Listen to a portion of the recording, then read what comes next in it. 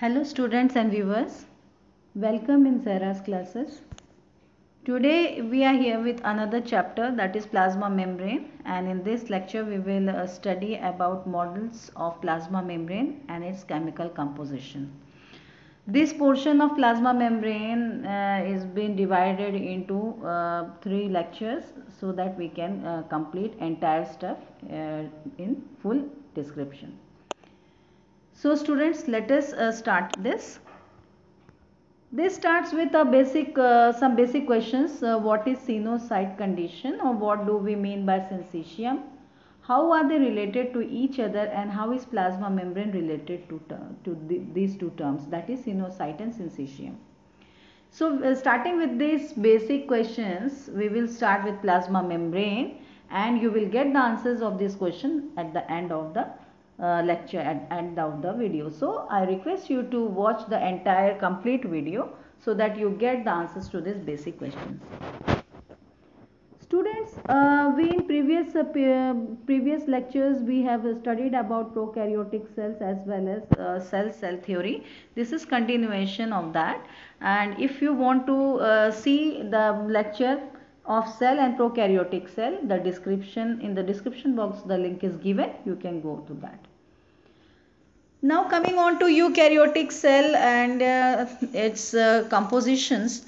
Here there is a, a flow chart which uh, mentions the various uh, structures as well as uh, its parts. So every cell whether it is plant cell or animal cell, eukaryotic cell is of two kinds. One which is found in plants and one type which is found in animals. So animal cell, whether it is animal cell or plant cell, it shows these particular uh, stru uh, structures with some differences in between animal cell and plant cell. So every cell is having a cell boundary and this cell boundary may be cell wall as well as cell membrane. If it is a plant cell, then cell wall is present but it, if it is animal cell then only cell membrane is present, cell wall is absent and second part and inside the boundary is present protoplasm. Inside this it is present protoplasm. And uh, this protoplasm is a living structure. And again uh, you will see this uh, protoplasm has cytoplasm as well as a nucleus. This cytoplasm it is a semi fluid homogeneous translucent uh, substance and uh, it is sometimes known as hyaloplasm cytoplasmic membrane but now it is termed as cytosol. Again this cytoplasm has uh, uh, two zones that is uh, ectoplasm and endoplasm. Ectoplasm it is um, ectoplasm is outer a narrow zone whereas the endoplasm it is a fluid mass in the center of the cell. Now when you see the cytoplasm, cytoplasm consists of uh, cellular organelles as well as cell inclusions. These cellular organelles are of two types, uh, one uh, containing membrane that is membrane bound organelles and another one membraneless. Membrane bound organelles students they are uh, two mitochondria and plastids. If it is plant cell plastids are present. If it is animal cell then plastids are not there. And single membrane structure. These two uh, mitochondria and plastids they are double membranous structures whereas uh, there are single membranous structures too present in the cell. They are endoplasmic reticulum, Golgi apparatus as well as lysosomes. In membraneless uh, structures, you will find ribosomes, centrosomes. Apart from uh, cellular organelles, uh, there are cell inclusions also present in cytoplasm. And these inclusions, they are uh, not capable of growth and multiplication students. ये growth या multiplication इनमें नहीं होती है. And they are the non-living portions or they are also known as deutoplasmic structures they may be common uh, they may be inclusions which uh, store reserve food material or they may have uh, uh, gaseous vacuoles or some vacuoles protein grains again pigment granules crystals. These are some forms of inclusions present in uh, the cell. Coming on to the main point that is today we will start students with cell membrane because we are studying animal cell and we will uh, switch on to cell wall of course after we finish up with cell membrane. So let us start with cell membrane. In this part we will study about various models and its compositions. First a bit introduction and details about cell membrane. Uh, cell membranes uh, all the cells they are enclosed by a thin film or thin covering coating that is plasma membrane which is known as plasma membrane or plasma lemma and this is also known as cell membranes this uh, cell membrane term was given by uh, Nagar uh, Kramer uh, in 1855 uh, which is the component of cell surface and this plasma lemma is another term for plasma membrane so instead of plasma membrane आप plasma lemma भी uh, इसको बोलते हैं and this term plasma lemma was introduced plasma membrane or cell membrane was given by Nageli and Kramer whereas plasma lemma term was introduced by Sifris in 1928 which was again followed by J.Q. Plowell 1931. The plasma membrane and other intracellular membranes surrounding organelles and vacuoles are collectively known as biological membranes. So students here that you don't get confused Cell membrane is the structure which is present on the cell surface. And this is known as plasma membrane or plasma lemma, whereas including plasma membrane plasma membrane के साथ वो और coverings जो cellular organelles के इर्द गिर्द होती हैं, जो भी कवरिंग होती है, चाहे वो सेल को के बाहर वाली बाउंड्री को कवर कर रही हो या फिर अंदर ऑर्गेनेलिस को कवर कर रही हो, उनको कलेक्टिवली हम क्या कहते हैं? बायोलॉजिकल मेम्ब्रेन कहते हैं। and historically E. Overton in 1800, so 1895 was the first to study the structure और composition of plasma membrane इन्होंने पहली बार पढ़ा इसको और उनके postulate थे कि cell membrane is composed of continuous layer of lipid material. So according to his studies, he found that cell membrane was a, is a is a continuous layer of lipid material.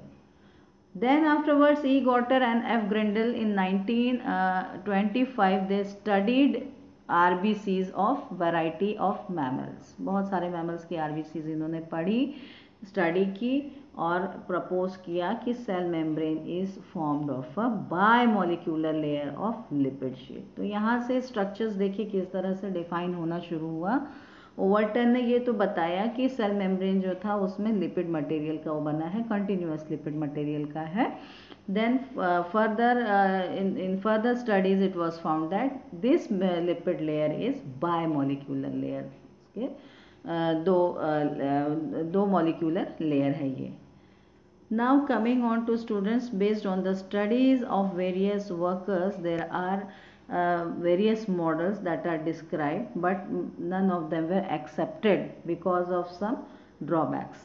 तो ये कौन से models हैं there are three important models explaining the ultra structure of plasma membrane और cell membrane कौन से तीन model हैं Danielli Davson model Robertson uh, student here it is Robertson uh, this it was uh, misprint Robertson unit membrane concept तो ये तीन model हैं जिसमें से मोस्ट एक्सेप्टेड जो till date it is fluid mosaic model we will study about these two models also and their drawbacks क्या इनके drawbacks थे? तो coming on to the very first model that is Danielli Davson model और इस model को हम पढ़ते हैं कि uh, क्या इसमें उन्होंने स्टडी किया और क्या सजेस्ट किया। तो Danielli Davson model J F Danielli and H Davson in 1935 they suggested which type of model it is a lipoprotein bilayer model lipo means lipid and protein ये दो पर्टिकुलर लेयर है model इस model में और ये cell membrane में इन दोनों की दो लेयर हैं और इनकी स्टडी जो थी वो बेस्ड थी सरफेस टेंशन स्टडीज़ पे। ठीक है सरफेस टेंशन मेथोडोलॉजी यूज़ किया था और इस पर इन्होंने ये कंक्लूजन निकाला था कि वो सजेस्ट किया था कि ये लाइपोप्रोटीन बाइलेयर मॉडल है। Danielli Davson propose that plasma membrane is made up of three layers a bimolecular layer of lipid which is sandwich between two layers of protein आप देख सकते हैं यहाँ पे बाय मॉलिक्यूलर लेयर है ये lipid का, और ये सैंडविच है, यानी ये दबा हुआ है कि इसके बीच में दो प्रोटीन लेयर्स के बीच में ये दबा हुआ है। अब आप जब हम इसमें बात करते हैं लिपिड की तो ये फॉस्फोलिपिड मॉलिक्यूल्स हैं, और ये they are set at right angles to the surface and are arranged they are arranged in two layers that they are non polar hydrophobic fatty acid tails face each other अब देखो इसको, ये ये जो surface है, इसके right right angles पे ये प्लेस्ड है और प्लस ये जो लेयर फॉस्फोलिपिड की लेयर है, ये दो लेयर है जो एक दूसरे को फेस कर रहा है। क्या फेस कर रहा है इसका? अगर हम इस फॉस्फोलिपिड का स्ट्रक्चर देखें तो इसमें एक होता है हेड और एक टेल होता है।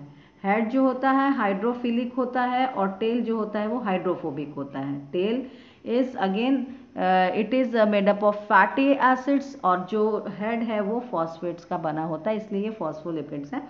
तो जो uh, जो टेल पोर्शन है आप देख रहे हैं कि ये दोनों दो लेयर है और ये दोनों लेयर के टेल पोर्शन जो हैं एक दूसरे के अपोजिट uh, में प्रेजेंट uh, है। इस तरह से अरेंज्ड हैं ठीक है?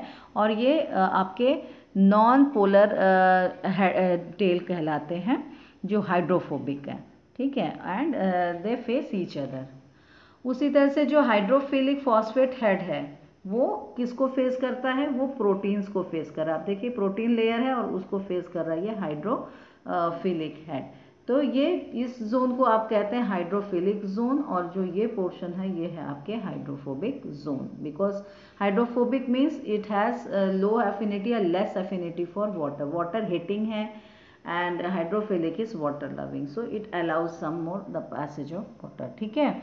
और इसके अलावा ये जो प्रोटीन और uh, फॉस्फोलिपिड का जो ये इंटरैक्शन है ये जो एक दूसरे के साथ एसोसिएटेड है अटैच्ड है by they are held together by electrostatic force ये दोनों जो प्रोटीन और फॉस्फोलिपिड का जो एक साथ है ये इसलिए है क्योंकि इनके इन, इन पे एक्ट कर रहा है इलेक्ट्रोस्टैटिक फोर्स और अगेन इन्होंने बताया है कि ये डैनली डेवसन मॉडल में ये बताया गया कि जो ये प्रोटीन लेयर है इसमें प्रोटीन्स जो हैं वो ग्लोब्यूलर हैं। तो ये है लाइपॉइड लेयर इसमें थिकनेस भी डिफाइंड नहीं है, ये लाइपॉइड लेयर में थिकनेस डिफाइंड नहीं है और वो सैंडविच है दो ग्लोबुलर प्रोटीन्स के बीच में। डेनिली डेवसन मॉडल जो है, ये सबसे ओल्डेस्ट मॉडल है of structure of plasma membrane तो इतना सब स्टडी के बाद भी ये वाला जो मॉडल है, ये अभी एक्सेप्ट नहीं है और इसके कुछ ड्रॉबैक्स थे। So it is not it was not acceptable और इस मॉडल में जो ड्रॉबैक था, उसमें पैसेज ऑफ़ वाटर या वाटर सॉल्यूबल मटेरियल्स का मूवमेंट जो है थ्रू दिस मेम्ब्रेन उसको एक्सप्लेन नहीं ये मॉडल कर पाया। या active transport of material through cell membrane ये सारी चीज़ें इसमें जो है एक्सप्लेनेबल नहीं थी, वो क्लियर नहीं हो रहा था। So this model was not accepted so I hope so students this portion or this model is very much clear to you now coming on to the next model दूसरे model को देखते हैं हम that is unit membrane concept और इसको दिया था Robertson ने 1959 में it was proposed by Robertson in 1959 and is known as unit membrane concept और ये जो इन्होंने स्टडी की थी it was based on on electron microscopy on myelin अब इसमें रॉबर्टसन ने जो बताया है कि लाइपॉइड बायोमोलिक्यूलर लेयर इन्होंने भी बताया, इस इस मॉडल में ये क्लियर है कि लाइपॉइड बायोमोलिक्यूलर लेयर है, दो लेयर है, आप देखिए। बट जो लेयर का यहाँ पे अब डिफाइन हो गया। पिछले में डिफाइन नहीं था कि लेयर का थिकनेस क्या है, इसमें लेयर्स की जो थिकनेस है वो डिफाइन हो गई, लेकिन इनको इसमें पहले रॉबर्टसन ने ऑब्ज़र्व किया था कि तीन लेयर्ड स्ट्रक्चर है, जिसमें से alternate light alternate dark patches या लेयर्स हैं जिसको alternate dark light and dark इस तरह के पैचेस उनको दिखे थे। इस तरह का लेयर दिखा था ठीक है? और इसमें मेम्ब्रेन uh, जो है वो फॉस्फोलिपिड बाय लेयर में जो है वो सैंडविच है इसमें भी सैंडविच है consisting of protein and sandwich between two protein mono layer तो दो लेयर है मोनो सिंगल लेयर है प्रोटीन का दोनों तरफ़ और दो लेयर है बीच में फॉस्फोलिपिड्स का। तो यहाँ पे भी सेम चीज़ें हैं, लेकिन यहाँ पे थोड़ी सी जो थिकनेस है, उसको अच्छे से डिफाइन की गई है। रॉबर्टसन मॉडल में जो यूनिट मेम्ब्रेन स्ट्रक्चर बताया है, वो टोटल जो है, वो 75 फाइव एंगस्ट्रॉन्ग थिक है, जिसमें जो फॉस्फोलिपिड का लेयर है दैट इज़ अबाउट 3.5 नैनोमीटर और 35 फाइव एंगस्ट्रॉन्ग यूनिट थिक और जो प्रोटीन लेयर है, वो 20 20 एंगस्ट्रॉन्ग यूनिट या 2 नैनोमीटर थिकनेस है। तो टोटल जो थिकनेस इस मॉडल में बताई गई है सेल मेम्ब्रेन की that is 75 it should be 75 angstrom unit thickness is there again Robertson ने इसको यूनिट मेम्ब्रेन इसलिए बोला था क्योंकि उनके हिसाब से ये पैटर्न ऑफ़ मॉलिक्यूलर ऑर्गेनाइजेशन जो है, ये इसका जो पैटर्न है, वो सारे मेम्ब्रेन्स में एक जैसा है, इसीलिए इसको बोला गया यूनिट मेम्ब्रेन लेकिन ये भी मॉडल एक्सेप्टेबल नहीं रहा इसको भी एक्सेप्ट नहीं किया गया क्योंकि इसमें भी ड्रॉबैक वही थे जो पिछले मॉडल में थे that is it failed to explain permeability permeability जो मूवमेंट है, जो परमिशन मिलती है मॉलिक्यूल्स के मूवमेंट की in and out of the cell और मेम्ब्रेन या ट्रांसपोर्ट प्रॉपर्टीज़ जो थे मेम्ब्रेन के, वो इसमें एक्सप्लेन नहीं था. That's why this was also discarded this was not accepted Now students coming on to the next model that is fluid mosaic model which is most acceptable uh, model till date. As you can see here the structure of entire mem uh, membrane with its composition and this is universally accepted model and here you will see that uh, the membrane it was uh, uh, first of all proposed by uh, Jonathan Singer of University California and Garth Nicholson of uh, Salk Institute in 1972 that therefore uh, by their name this fluid model is also known as Singer and Nicholson model and Singer and Nicholson they took the help of which uh, technique freeze fracture technique इसमें freeze fracture technique का इस्तेमाल हुआ electron microscopy में and they studied the fluid mosaic model of the membrane and according to this fluid mosaic model इसमें भी इन्होंने बताया कि जो मेम्ब्रेन है, वो lipid it contains bimolecular lipid layer सब मॉडल्स में आपको ये एक कॉमन है कि जो मेम्ब्रेन है, वो लिपिड बाय लेयर है sorry bilayer bimolecular lipid layer है, और द सरफेस जो है इसमें, इस मॉडल में सरफेस जो है उसका इंटरप्टेड आपने बाकी दो मॉडल्स में देखे कि लिपिड लेयर जो है वो सैंडविच्ड है between protein layer okay but here in this model they showed that the lipid bi bimolecular lipid layer it is continuously there but the protein portions they are interrupting the lipid layer so so, यहाँ पे आप देख रहे हैं कि इस structure में fluid mosaic model में आप इसमें देख रहे हैं कि इसका भी थिकनेस जो है इसका जो थिकनेस आप देखेंगे वो थिकनेस 75 फाइव एंगस्ट्रॉन्ग्स का है जिसमें कि 35 फाइव जिसमें फॉस्फोलिपिड बाइलेयर जो है वो 35 फाइव एंगस्ट्रॉन्ग यूनिट थिक है। और uh, इसमें लिपिड्स जो हैं अलग अलग प्रकार के हैं लिपिड मॉलिक्यूल जो है मूव कर सकते हैं साइडवेज इसको फ्लूड नाम क्यों दिया गया? फ्लूड या मोजैक फ्लूड मोजैक मॉडल नाम क्यों दिया गया? क्योंकि इसके अंदर जो लिपिड है लिपिड का जो लेयर है, वो मूविंग में है, वो मूव कर सकता है साइडवेज इट कैन मूव और इसके इस प्रॉपर्टी की वजह से फ्लूडिटी इसको मिली है। और ये फ्लूडिटी जो है, इस मेम्ब्रेन को अलाउ करता है स्ट्रेच करने के लिए कि अगर कोई स्ट्रेस का कंडीशन है तो वो अपने आप को स्ट्रेच कर लेता है और ये स्ट्रेचिंग तभी पॉसिबल है जब ये लेयर्स जो हैं लिपिड के ये अपने आप में फ्लेक्सिबिलिटी शो करें। और इसके अलावा ये जो है ये फ्लूडिटी और भी एक अहम रोल प्ले करती है। ये जो प्रोटीन के जो मॉलिक्यूल्स हैं ये प्रोटीन्स को मूवमेंट करने में विद इन या आउटसाइड भी हेल्प करती हैं allows protein to move within okay अब यहाँ पे जब आप देख रहे हैं तो इस पर्टिकुलर स्ट्रक्चर में आप ये भी देखोगे कि इसमें दो चीज़ें अहम हैं। आपने अभी फॉस्फोलिपिड को देखा 35 फाइव एंगस्ट्रॉन्ग यूनिट का है, इसका थिकनेस जो प्रोटीन है इसमें प्रोटीन दो तरह की है। बेसिकली एक खुद एक इंट्रिंसिक प्रोटीन है, जिसको आप इंटीग्रल प्रोटीन कहते हैं, जो बिल्कुल अंदर में प्रेजेंट है, और एक है पेरिफेरल प्रोटीन जो पेरिफेरी पे है, जो बिल्कुल सरफेस पे है, कुछ हाफ़ एम्बेडेड है, कुछ फुल एम्बेडेड है, और कुछ पूरी तरीके से सरफेस पे है। तो जो सरफेस पे प्रोटीन है, उनको आप पेरिफेरल प्रोटीन कहते हैं and they are located superficially और हमेशा पूरा सरफेस जो है, वो फॉस्फोलिपिड का कवर नहीं करता है। तो they always do not cover the entire surface ठीक है? और ये लूजली बाउंडेड है। मेम्ब्रेन सरफेस से ये प्रोटीन्स जो हैं, ये देख लीजिए आप, ये हो गए आपके इस तरह के सरफेस प्रोटीन्स जो हैं, ये बहुत लूजली बाउंड होते हैं लिपिड मैट्रिक्स के साथ and they are expose part of the proteins okay कभी कभी इंट्रेंसिक प्रोटीन का भी एक्सपोज पार्ट होते हैं कभी कभी ये उस तरह से भी अलग से ये आपको बाहर लेयर के बाहर नज़र आते हैं। और जो प्रोटीन का जो लेयर आप देख रहे हैं, जो बाहर एक्सपोज्ड है दोनों साइड में या दोनों सरफेसेस में तो वो उसका जो थिकनेस है that is 20 angstrom unit thick integral protein की अगर हम बात करें तो ये 70 परसेंट जितना भी प्रोटीन एक मेम्ब्रेन में प्रेजेंट है, उस प्रोटीन का 70 प्रतिशत जो पार्ट है वो, टोटल में से 70 प्रतिशत जो है इंटीग्रल प्रोटीन फॉर्म करता है।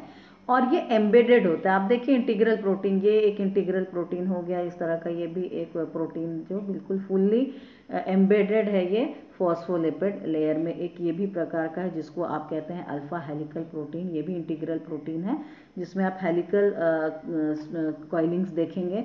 उसी तरह से ये सिंपल इंटीग्रल प्रोटीन है, ये ग्लोबुलर प्रोटीन है, ये इंटीग्रल प्रोटीन का पार्ट है। जो एक्सटर्नल प्रोटीन है या वो इंटरनली एम्बेडेड प्रोटीन का, वो बाहरी का हिस्सा है जो एक्सटर्नली आपको नज़र आता है या सरफेस प्रोटीन आप एक प्रेजेंट होता है। लेकिन इंटीग्रल प्रोटीन जो है वो फुल्ली एम्बेडेड होता है, पूरा हिस्सा उसका एम्बेडेड होता है, कुछ पोर्शन उसका आप बाहर देख सकते हैं। नाउ यहाँ पे ये बिल्कुल टाइटली हेल्ड होते हैं। They are tightly held in the place by strong hydrophilic और हाइड्रोफोबिक इंटरैक्शंस और both with the polar heads and non polar tail आप देख सकते हैं, इसमें भी आपके लिपिड का जो लेयर है, उसमें आपको एक हाइड्रोफिलिक हेड दिखेगा एंड हाइड्रोफोबिक टेल दिखेगा। तो ये इंटीग्रल प्रोटीन जो है, इनके साथ बहुत अच्छी तरह से इन दोनों पर्टिकुलर स्ट्रक्चर्स के साथ वो बहुत टाइटली हेल्ड होते हैं। तो मूवमेंट इनका डिफ़िकल्ट है। ठीक है रिमूव नहीं किया जा सकता है। मेम्ब्रेन से So uh, and there are uh, also some uh, kind of proteins that are known as transmembranal or tunnel proteins. ये देखिए ये transmembranal या tunnel protein इनको कहते हैं और ये भी टनल का या दे हेल्प इन चैनल्स बनाते हैं ये to for the for allowing the passage of water soluble material तो इस तरह की चीज़ें आपको इस तरह के प्रोटीन्स इसमें नज़र आएँगे। इसके अलावा तीसरा स्ट्रक्चर जो है पहला आपने देखा मेन फॉस्फोलिपिड दूसरा हो गया प्रोटीन एंड तीसरा जो है इसमें ऑलिगोसेकेराइड्स यानी कि कार्बोहाइड्रेट्स का भी पोर्शन है। और ये ऑलिगोसेकेराइड्स जो हैं वो यूजुअली ब्रांच्ड फॉर्म में प्रेजेंट होते हैं और एक्सपोज्ड सरफेस पे जितना भी ये सरफेस एक्सपोज्ड है ये सर, तो एक्सपोज सरफेस पे ये प्रेजेंट होते हैं। आउटर लेयर पे ये प्रेजेंट होते हैं and they are associated with protein और लिपिड आप देख लीजिए, ये यहाँ पे ग्लाइकोलिपिड के फॉर्म में है। ये अगर लिपिड के साथ अटैच्ड हैं तो वो बनाते हैं ग्लाइकोलिपिड और अगर ये प्रोटीन के साथ अटैच्ड है एसोसिएटेड है तो ये बनाते हैं ग्लाइको प्रोटीन और ये एक तरह का कोट बनाते हैं, जिसको आप कहते हैं ग्लाइकोकैलिक्स आप ये जानते हैं एनिमल सेल में भी ग्लाइकोकैलिक्स प्रेजेंट होता है on the free surface of the cell और ये ग्लाइकोप्रोटीन्स का मेन काम होता है कि ये रिकॉग्नाइज करें सेल्फ को फॉरेन बॉडीज़ के साथ। और इनका बहुत एक अहम रोल ये प्ले करते हैं। ग्लाइकोप्रोटीन इसके अलावा आप देखेंगे इसके अंदर कोलेस्ट्रॉल भी प्रेजेंट है तो कोलेस्ट्रॉल्स भी प्रेजेंट हैं प्लाज्मा मेम्ब्रेन के मॉडल में और कोलेस्ट्रॉल मॉलिक्यूल्स ये फॉस्फोलिपिड मॉलिक्यूल्स के बीच बीच में इंसर्टेड है। ये देखिए यहाँ पे बीच बीच में ये इंसर्टेड है।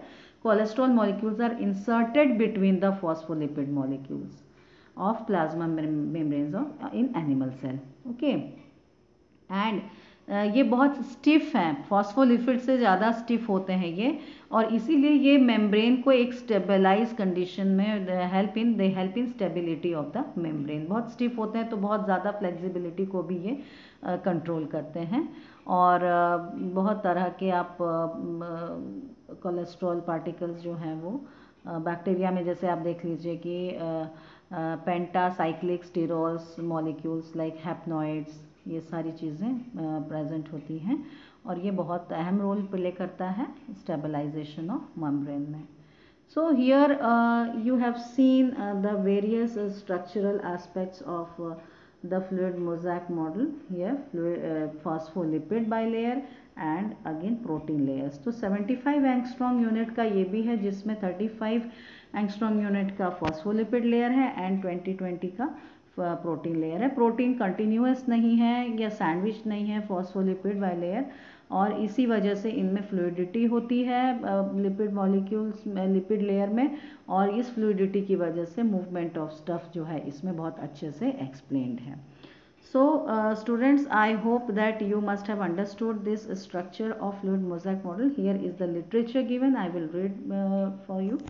Some proteins are attached at polar surface of lipid जिसको जो पोलर सरफेस पे उसको पेरीफेरल या एक्सट्रिंसिक प्रोटीन कहते हैं and other proteins which penetrate the bilayer are called as integral और intrinsic protein the protein on the outer side में be a chains of sugar and they are known as glycoprotein जिसमें oligosaccharide chain है, उनको glycoprotein कहते हैं। सारे protein molecules में नहीं होते हैं।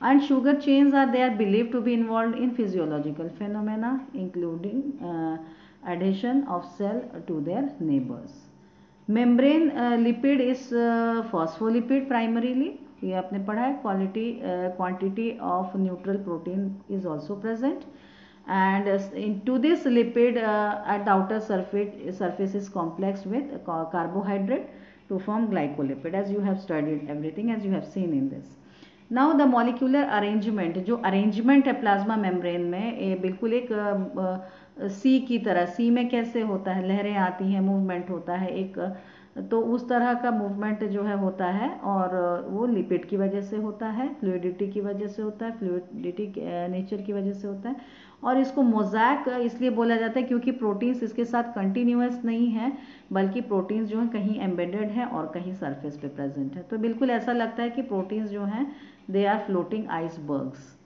now lipid जो है वो एक बैरियर की तरह एक्ट करता है एंड दे एंट्री और exit of charge polar substance को वो कंट्रोल करता है।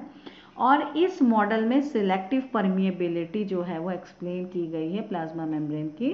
और इसीलिए ये मॉडल जो है टिल्डेड बेस्ट एक्सेप्टेड मॉडल है। So I hope so student you must have understood the entire structure and composition of fluid mosaic model now coming on to the chemical composition जो हम इसमें पढ़ेंगे। uh, कुछ प्रोटीन्स को आपने इसमें गेट कीपर्स भी होते हैं और ये गेट कीपर्स जो हैं ये अलाउ करते हैं रेगुलेट करते हैं ट्रैफ़िक को मॉलिक्यूल्स की आयंस की सेल के अंदर और बाहर।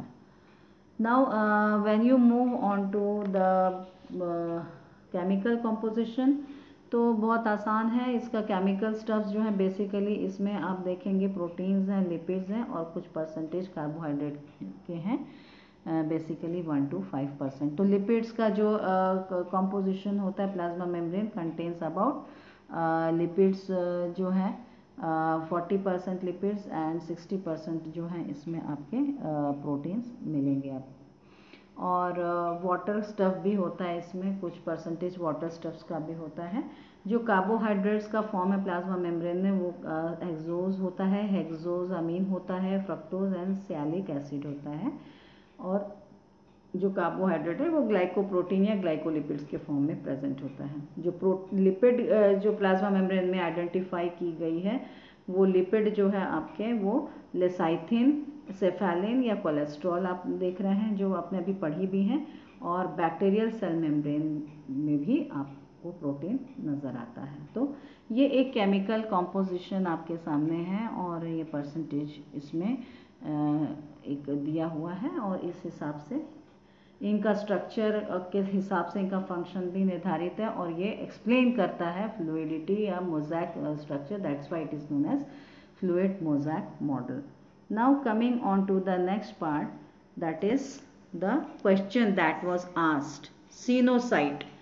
Coenocyte जो है एनिमल सेल में जब एनिमल uh, सेल क्या है इट इज़ लिमिटेड बाहर उसको प्लाज्मा मेम्ब्रेन कवर करता है तो हर लिविंग सेल में एक मेम्ब्रेन होता है। लेकिन जो term coenocyte it is use to describe multinucleate condition in which cell membrane is lacking between cells तो एनिमल सेल में जब दो सेल्स के बीच का जो मेम्ब्रेन है, वो नहीं होता लैकिंग होता है और न्यूक्लियस जो है वो एक साथ आने लगता है, एक साथ होता है और मल्टी न्यूक्लिएट स्टेज उसको कंडीशन दिखने लगती है। ऐसा लगता है कि ये मल्टी न्यूक्लिएट कंडीशन है, यानी ये सेल मल्टी न्यूक्लिएट है, इसमें बहुत सारे न्यूक्लियस हैं। लेकिन रीज़न क्या है? इसका प्लाज्मा मेम्ब्रेन जो है, ये नहीं होता है लैकिंग होता है तो इस कंडीशन को हम कहते हैं सीनोसाइट और ये coenocytic condition is usually found in जो एल्गी एंड फंजाई तो ये एल्गी फंजाई में ये जो कंडीशन है, ये सीनोसिटिक कंडीशन कहलाता है।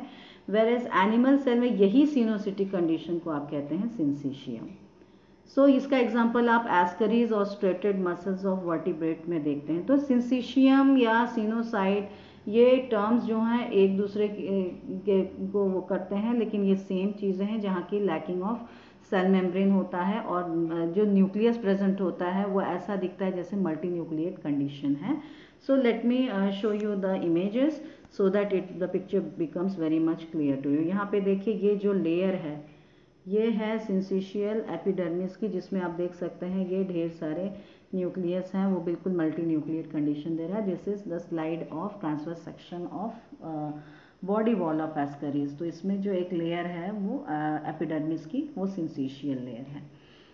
आप ये देख लीजिए फन फंजाई में जब आप आते हैं तो यहाँ पे इस स्ट्रक्चर में आप देखिए और इस स्ट्रक्चर में देखिए। यहाँ पे इनमें डिमार्केशन है यहाँ पे आप देखिए यहाँ पे आ, अलग से ये सेल नज़र आते हैं एक सेल का अपियरेंस है। लेकिन सीनोसिटिक कंडीशन में आप देखेंगे हाइफे है। सीनोसिटिक कंडीशन में आप देखेंगे कि जो वॉल है वह नहीं है। सेल वॉल ये मेम्ब्रेन जो है, वो नहीं है प्लाज्मा मेम्ब्रेन और आप ये देख रहे हैं कि जो न्यूक्लियस है, वो थ्रू आउट एक साथ है और ऐसा लगता है मल्टी न्यूक्लिएट कंडीशन है। इसीलिए इसको सिनोसिटिक कंडीशन कहते हैं हाइफे में, और सिंसिशियल कंडीशन जो कहते हैं वो एनिमल सेल में। So this was the answer to the question students I hope you must have learn you must have the basics must have been cleared in you in next lecture we will deal with one another important aspect of plasma membrane that is membrane transport till then you study this part and uh, if you want to know about a cell and prokaryotic cell you go in description box the link of these two lectures are placed in that Till then, thank you. And students, if you have liked the lecture, please like, share and subscribe. And don't forget to click the bell icon so that you get the notifications. Thank you.